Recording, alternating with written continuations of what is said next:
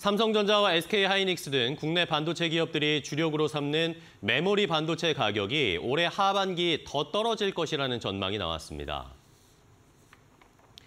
대만의 시장조사기관 트렌드포스는 최근 보고서를 통해 올해 3분기 디램과 낸드 플래시 가격이 2분기보다 각각 3에서 8%, 0에서 5% 하락할 것으로 예상했습니다.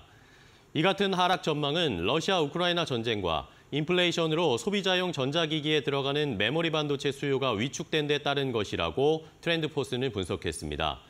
최근 IT 업계와 증권가에서는 전 세계적인 인플레이션 공포와 비용 상승으로 정보통신기기 출하량도 줄어들면서 메모리 반도체 수요가 위축될 것이라는 우려가 잇따르고 있습니다.